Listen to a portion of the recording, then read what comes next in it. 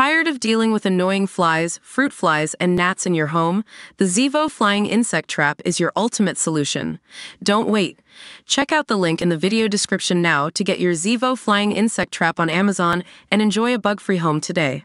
Rihanna donned an expensive-looking diamond necklace and an open black silk robe to film a tutorial on how to apply her brand new $40 Fenty Beauty Medium Coverage Foundation, which aims to be luminous without looking greasy.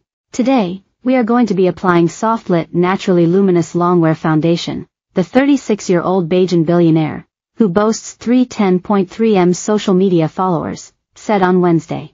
Tools are 145 brush. You can already see the luminosity. It is giving glow.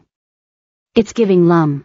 The video montage truly showcased how flawless Riri's, born Robyn Fenty, complexion is without having much makeup on aside from softlit shade number 315.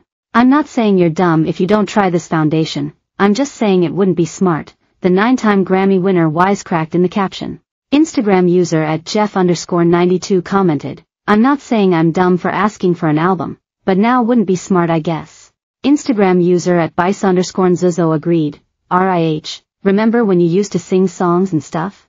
Rihanna is next producing and voicing Smurfette in Paramount Animation's The Smurfs movie, hitting UK-US theaters February 14, 2025, along with writing and recording original songs.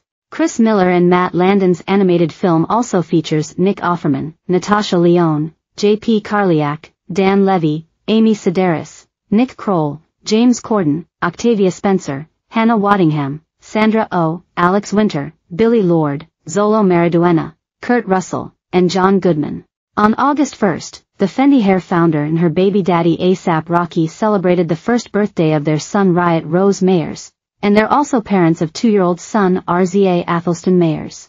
Rihanna previously revealed they were trying to figure out who's gonna use what when it comes to sampling the voices of their children on her long-delayed ninth studio album and his fourth studio album Don't Be Dumb, which drops August 30th.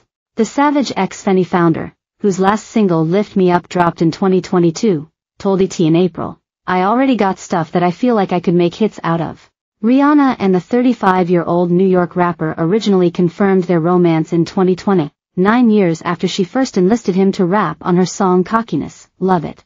ASAP, who hired attorney Joe Tacopina, is currently free on bond ahead of his criminal assault trial, which is scheduled to begin October 21st.